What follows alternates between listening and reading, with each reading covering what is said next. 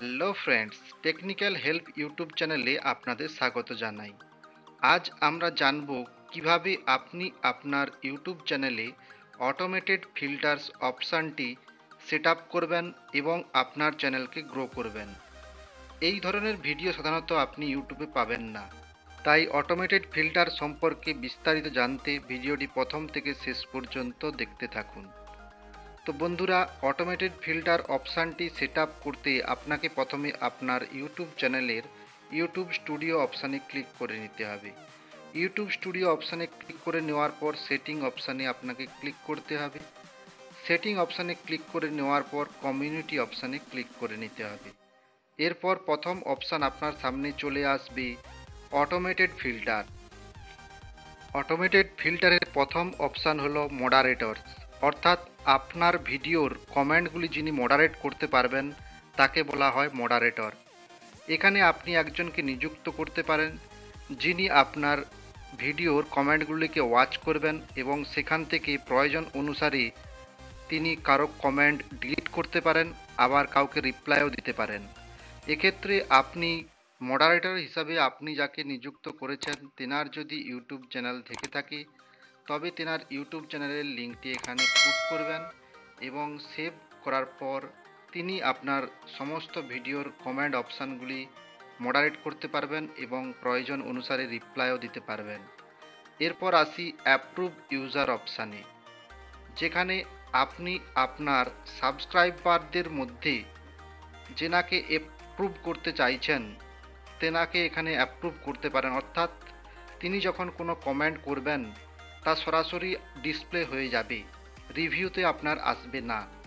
এরপর আসি hidden user অর্থাৎ আপনি আপনার সাবস্ক্রাইবারদের মধ্যে যে সকল ব্যক্তিগুলি আপনাকে ভুলভাল কমেন্ট করে থাকে বা উল্টোপাল্টা কমেন্ট করে থাকে, সেই সকল ব্যক্তিদেরকে আপনি এখান থেকে হাইড করতে পারেন। অর্থাৎ তেনাদের কমেন্টগুলি হাইড হয়ে যাবে এবং পরবর্তী কোনো ভিডিওতে তারা কমেন্ট করলেও তা আপনার কাছে শো হবে না।